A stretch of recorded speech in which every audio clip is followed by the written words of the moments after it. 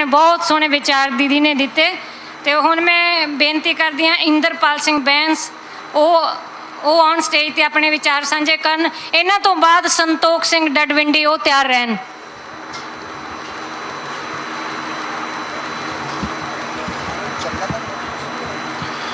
ਸਭ ਤੋਂ ਪਹਿਲਾਂ ਆਓ ਸਾਰੇ ਗੱਜ ਕੇ ਫਤਿਹ ਸਾਂਝੀ ਕਰੀਏ। ਵਾਹਿਗੁਰੂ ਜੀ ਕਾ ਖਾਲਸਾ, ਵਾਹਿਗੁਰੂ ਜੀ ਕੀ ਫਤਿਹ। ਅੱਜ ਮੈਂ ਤੁਹਾਡੇ ਸਾਰਿਆਂ ਨਾਲ ਇੱਕ ਵਿਚਾਰ ਸਾਂਝੇ ਕਰਨੇ ਆ ਵੀ ਇਸ ਪਲੇਟਫਾਰਮ ਤੋਂ ਜਿਹੜੇ ਜਿਹੜੇ ਸਾਡੇ ਭਰਾ ਬਜ਼ੁਰਗ ਸੋਸ਼ਲ ਮੀਡੀਆ ਦੇ ਨਾਲ ਜੁੜੇ ਹੋਏ ਆ, ਉਹਨਾਂ ਵਾਸਤੇ ਇੱਕ ਖਾਸ ਮੈਸੇਜ ਦੇਣਾ ਚਾਹੁੰਦਾ ਕਿ ਕੱਲ ਦੇ ਦਿਨ ਤੋਂ ਹੀ ਅਸੀਂ ਦੇਖਦੇ ਪਏ ਆ ਵੀ ਸੋਸ਼ਲ ਮੀਡੀਆ ਉੱਤੇ ਚੱਲ ਕੀ ਰਿਹਾ। ਅੱਜ ਦੇ ਦਿਨ ਦਾ ਜੋ ਇਤਿਹਾਸ ਆ, ਉਹ ਛੋਟੇ ਕੱਲੂ ਘਰੇ ਦੇ ਨਾਲ ਸੰਬੰਧਿਤ ਹੈ ਅੱਜ ਦੇ ਦਿਨ ਛੋਟਾ ਕੱਲੂ ਘਰਾ ਸ਼ੁਰੂ ਹੋਇਆ ਸੀ ਔਰ ਜਿਸ ਜ਼ਿਲ੍ਹੇ ਤੋਂ ਮੈਂ ਬਿਲੋਂਗ ਕਰਦਾ, ਗੁਰਦਾਸਪੁਰ ਤੋਂ ਉੱਥੇ ਕਾਨੋਵਾਨ ਦੀ ਸ਼ੰਭ ਦੇ ਵਿੱਚ ਇਸ ਜੰਗ ਸ਼ੁਰੂ ਹੋਈ। ਔਰ ਸਾਨੂੰ ਸ਼ਾਇਦ ਅਜੇ ਤੱਕ ਇਤਿਹਾਸ ਦਾ ਇਹ ਨਹੀਂ ਪਤਾ ਵੀ ਇਸ ਦੇ ਵਿੱਚ ਕਿੰਨੇ ਸਿੰਘ ਸ਼ਹੀਦ ਹੋਏ, ਬੱਚੀਆਂ ਕਿੰਨੇ ਸੀ, ਬੀਬੀਆਂ ਕਿੰਨੀਆਂ ਸੀ, ਬਜ਼ੁਰਗ ਕਿੰਨੇ ਸੀ, ਔਰ ਜਵਾਨ ਨੌਜਵਾਨ ਕਿੰਨੇ ਸੀਗੇ। ਸੋਸ਼ਲ ਮੀਡੀਆ ਦੇ ਉੱਤੇ ਸਾਨੂੰ ਇਹ ਪਤਾ ਆ ਵੀ 15 ਤਰੀਕ ਨੂੰ ਕਿਹੜੇ ਸਿੰਗਰ ਨੇ ਆਪਣਾ ਗਾਣਾ ਰਿਲੀਜ਼ ਕਰਨਾ 16 ਤਰੀਕ ਨੇ ਕਿਹੜੇ ਸਿੰਗਰ ਨੇ ਗਾਣਾ ਰਿਲੀਜ਼ ਕਰਨਾ ਆ। ਪਰ ਜੋ ਸਾਡਾ ਇਤਿਹਾਸ ਜਿਹਦੇ ਕਰਕੇ ਸਾਡੇ ਸਿਰਾਂ ਤੇ ਪੱਗਾਂ ਵੱਜੀਆਂ ਨੇ, ਜਿਹਦੇ ਕਰਕੇ ਅੱਜ ਅਸੀਂ ਇਸ ਦੁਨੀਆ ਦੇ ਉੱਤੇ ਸਾਡੀ ਹੋਂਦ ਆ, ਸਾਨੂੰ ਉਹਦੇ ਬਾਰੇ ਬਿਲਕੁਲ ਵੀ ਪਤਾ ਨਹੀਂ ਹੈਗਾ। ਸਾਨੂੰ ਸ਼ਾਇਦ ਚੇਤਾ ਭੁੱਲ ਚੁੱਕਿਆ ਕਿਸਾਨੀ ਸੰਘਰਸ਼ ਦੀ ਗੱਲ ਦਾ ਸਾਨੂੰ ਇਹ ਵੀ ਚੇਤਾ ਭੁੱਲ ਚੁੱਕਿਆ ਆ।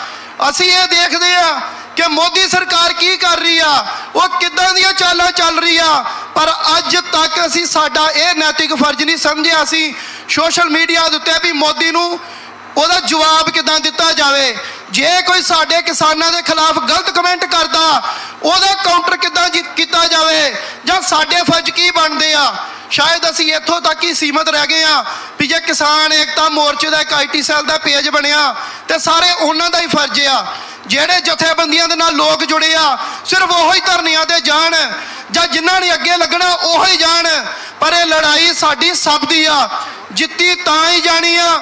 ਜੇ ਇੱਕ ਇੱਕ ਜੀ ਘਰ ਦਾ ਵੀ ਇਸ ਮੋਰਚੇ ਨੂੰ ਸਮਰਪਿਤ ਹੋਵੇਗਾ, ਚੜ੍ਹਦੀ ਕਲਾ ਦੀ ਹਰ ਵੇਲੇ ਗੱਲ ਕਰੇਗਾ। ਜੇਕਰ ਸ਼ਹੀਦੀਆਂ ਹੋਈਆਂ, ਉਹਨਾਂ ਦਾ ਕਾਰਨ ਕੀ ਸੀਗਾ? ਛੋਟੂ ਛੋਟੇ ਕੱਲੂ ਘਰ ਦੇ ਵਿੱਚ 15000 ਦੇ ਕਰੀਬ ਸਿੰਘ ਸੀਗੇ, ਜਿਹੜੇ ਲੱਖਾਂ ਦੀ ਗਿਣਤੀ ਦੇ ਨਾਲ ਲੜਨ ਵਾਸਤੇ ਡਟ ਗਏ ਸੀ। ਔਰ 10000 ਦੇ ਕਰੀਬ ਸ਼ਹੀਦੀਆਂ ਹੋ ਗਈਆਂ। 3000 ਦੇ ਕਰੀਬ ਬੰਦੀ ਸਿੰਘ ਨੂੰ ਬੰਦੀ ਬਣਾ ਲਏ ਗਏ। ਪਰ ਅੱਜ ਸਾਡੀ ਮਾਨਸਿਕਤਾ ਤੇ ਸਾਡਾ ਸਟੈਂਡ ਕਿੰਨਾ ਕਰਿਆ ਗਿਆ ਵੀ ਜੇ ਇੱਕ ਕਿਤੇ ਮੋਦੀ ਨੇ ਕਿਸੇ ਉੱਤੇ ਪਰਚਾ ਵੀ ਕਰ ਦਿੱਤਾ ਨਾ, ਤੇ ਸਾਡਾ ਪਰਿਵਾਰ ਸਾਰਾ ਹੀ ਬਹਿ ਜਾਂਦਾ, ਨਾ ਪੁੱਤ, ਘਰ ਬਹਿ ਜਾ, ਕਿਤੇ ਜੇਲ੍ਹ ਨਾ ਭੁਗਤਣੀ ਪੈ ਜੇ, ਕਿਤੇ ਤੇਰੀ ਜਾਨ ਨਾ ਚਲ ਜੇ, ਪਰ ਜਿਨ੍ਹਾਂ ਨੇ ਸਾਡੇ ਵਾਸਤੇ ਜਾਨਾਂ ਵਾਰੀਆਂ ਨੇ, ਅਸੀਂ ਉਹਨਾਂ ਨੂੰ ਕੀ ਮੂੰਹ ਵਿਖਾਣਾ ਆ? ਜਾਣਾ ਤੇ ਸਾਰਿਆਂ ਨੇ ਇਸ ਦੁਨੀਆ ਤੋਂ, ਪਰ ਕੁਝ ਕਰਕੇ ਜਾਈਏ ਤੇ ਕੋਈ ਯਾਦ ਕਰੂਗਾ। ਮੋਰਚਾ ਇਤਿਹਾਸਿਕ ਆ ਇਹਦੀ ਭੂਮਿਕਾ ਤੁਸੀਂ ਆਪਣੇ ਵਾਸਤੇ ਤੈਅ ਕਰਨੀ ਆ ਵੀ ਇਸ ਮੋਰਚੇ ਦਾ ਜਦੋਂ ਇਤਿਹਾਸ ਲਿਖਿਆ ਗਿਆ ਤੇ ਤੁਹਾਡਾ ਨਾਂ ਉੱਥੇ ਕਿੱਥੇ ਆਊਗਾ? ਭਗੋੜਿਆਂ ਚ ਆਊਗਾ ਕਿ ਜਾਂ ਸੰਘਰਸ਼ੀਆਂ ਚ ਆਊਗਾ? ਤੇ ਜਿਹੜੇ ਤੇ ਇਸ ਮੋਰਚੇ ਵਾਸਤੇ ਕੁਰਬਾਨੀਆਂ ਕਰ ਰਹੇ ਆ, ਮੇਰੇ ਵੀਰੋ, ਜਿੱਦਾਂ ਅਸੀਂ ਆਪਣੇ ਸ਼ਹੀਦਾਂ ਨੂੰ ਅੱਜ ਯਾਦ ਕਰਦੇ ਆ, ਇਸੇ ਤਰ੍ਹਾਂ ਹੀ ਉਹਨਾਂ ਸ਼ਹੀਦਾਂ ਨੂੰ ਵੀ ਯਾਦ ਕੀਤਾ ਜਾਊਗਾ। ਤੇ ਜਿਹੜਾ ਮੋਦੀ ਇਸ ਵੇਲੇ ਰੋਲਾ ਪਾ ਰਿਹਾ ਕਰੋਨਾ ਦਾ, ਉਹਨੇ ਤੇ ਸ਼ਾਇਦ ਜਿਹੜੀਆਂ 100 ਦੇ ਕਰੀਬ ਥੋੜੇ ਦਿਨ ਪਹਿਲਾਂ ਗੰਗਾ ਨਦੀ ਦੇ ਵਿੱਚ ਲਾਸ਼ਾਂ ਵੇਖੀਆਂ ਸੀ। ਉਹਨੇ ਇਹ ਵੀ ਕਹਿ ਕੇ ਢੰਡੋਰਾ ਪਿੱਟ ਦੇਣਾ ਵੀ ਇਹਦੇ ਜੂੰਦੇ ਕਿਸਾਨ ਨੇ। ਜਿਹੜੇ ਲਾਸ਼ਾਂ ਤੈਰਦੀ ਪਈਆਂ ਜੂੰਦੇ ਕਿਸਾਨ ਨੇ, ਸਿਰਫ ਮੇਰੇ ਖਿਲਾਫ ਹੀ ਪ੍ਰੋਪੋਗੰਡਾ ਕਰਦੇ ਪਏ ਆ। ਇਦਾਂ ਦਾ ਸਰਕਾਰਾਂ ਦਾ ਆਈਟੀ ਸੈੱਲ ਆ, ਜੋ ਬੋਲਦਾ ਨਾ ਸੱਚ ਆ। ਪਰ ਅੱਗੋਂ ਅਸੀਂ ਕੀ ਭੂਮਿਕਾ ਨਿਭਾਣੀ ਆ?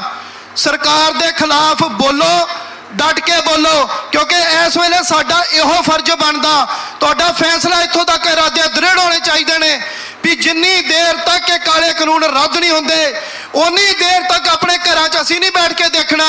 ਤੇ ਜੇਕਰ ਕਿਤੇ ਸਾਡੀ ਕੁਰਬਾਨੀ ਹੋ ਵੀ ਜਾਂਦੀ ਨਾ ਇਸ ਮੋਰਚੇ ਨੂੰ ਲੈ ਕੇ ਤੇ ਮੈਂ ਤੇ ਆਪਣੇ ਪਰਿਵਾਰ ਨੂੰ, ਆਪਣੇ ਆਪ ਨੂੰ ਕਰਮਾ ਵਾਲਾ ਸਮਝਾਂਗਾ ਵੀ ਕਿਤੇ ਸਾਨੂੰ ਵੀ ਕੋਈ ਆਉਣ ਵਾਲੇ ਸਮੇਂ 'ਚ ਯਾਦ ਕਰੂਗਾ ਵੀ ਫਲਾਣੇ ਬੰਦੇ ਨੇ ਕੁਰਬਾਨੀ ਕੀਤੀ ਸੀ, ਸਾਡੇ ਹੱਕਾਂ ਵਾਸਤੇ ਉਹਨਾਂ ਨੇ ਕੁਰਬਾਨੀਆਂ ਕੀਤੀਆਂ ਸੀ, ਤਾਂ ਅੱਜ ਸਾਡੀ ਕਿਸਾਨੀ ਬਚੀ ਆ, ਸਾਡਾ ਪੰਜਾਬ ਬਚਿਆ, ਸਾਡਾ ਭਾਰਤ ਬਚਿਆ। ਨਹੀਂ ਤੇ ਇਹ ਜਿਹੜੀਆਂ ਹਕੂਮਤਾਂ ਇਸ ਵੇਲੇ ਸਭ ਕੁਝ ਆਪਣੇ ਥੱਲੇ ਕਰਨ ਨੂੰ ਤੁਲੀਆਂ ਨੇ ਕੋਆਪਰੇਟ ਘਰਾਣਿਆਂ ਨੂੰ ਸੌਂਪ ਜੇ ਅਸੀਂ ਇਹਨਾਂ ਖਿਲਾਫ ਲੜਾਈ ਲੜਾਂਗੇ, ਹੱਕ ਆਪਣੀ ਆਵਾਜ਼ ਬੁਲੰਦ ਕਰਾਂਗੇ, ਤਾਂ ਹੀ ਆਉਣ ਵਾਲੇ ਸਮੇਂ 'ਚ ਸਾਡਾ ਸਿਰ ਉੱਚਾ ਰਹੂਗਾ। ਨਹੀਂ ਤਾਂ ਜਿੱਦਾਂ ਪਹਿਲਾਂ ਗੁਲਾਮੀ ਹੰਡਾਈ ਅੰਗਰੇਜ਼ਾਂ ਦੀ, ਹੁਣ ਆਪਣੀ ਹਕੂਮਤ ਦੀ ਗੁਲਾਮੀ ਤੁਹਾਨੂੰ ਹੰਡਾਣੀ ਪੈਣੀ ਆ। ਇਸ ਕਰਕੇ ਆਪਣੇ ਇਰਾਦਿਆਂ ਦੇ ਦ੍ਰਿੜ ਹੋਵੋ ਚੜ੍ਹਦੀ ਕਲਾ ਵਿੱਚ ਰਹੋ, ਜਿੱਤ ਸਾਡੀ ਪੱਕੀ ਆ। ਵਾਹਿਗੁਰੂ ਜੀ ਕਾ ਖਾਲਸਾ, ਵਾਹਿਗੁਰੂ ਜੀ ਕੀ ਫਤਿਹ। ਇਹ ਸਨ ਇੰਦਰਪਾਲ ਸਿੰਘ ਬੈਂਸ।